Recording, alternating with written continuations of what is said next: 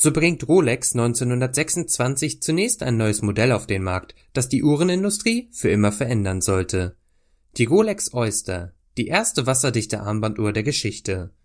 Daher auch der Name Oyster, denn die Uhr kann wie eine Auster eine unbegrenzte Zeit im Wasser liegen, ohne dass sie Schaden nimmt.